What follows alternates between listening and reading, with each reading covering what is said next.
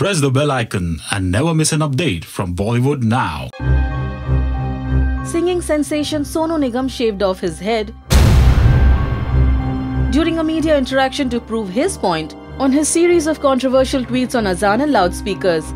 It was being said that a fatwa was issued when Al Qadri, the vice president of West Bengal Minority United Council, announced a reward of rupees 10 lakhs to a person who will shave Sonu Nigam's head. But in a major twist in the tale, cleric Syed Shah Atif Ali Al Qadri has denied in a report that there was no fatwa issued against Sonu Nigam. He reportedly said, I wish to state that there was no fatwa issued against Nigam. I reacted to his tweet on Azan. I would like to say that if you need to live in a democratic, secular country like India, you have to live with every religion.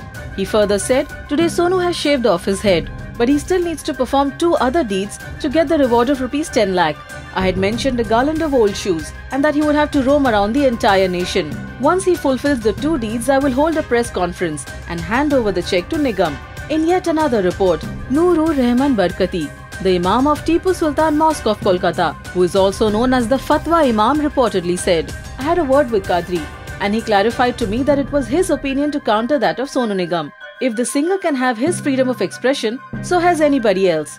If Nigam is disturbed by the sound of namaz and that of temple and church bells, he should shift his house to a spot where none of these reach him.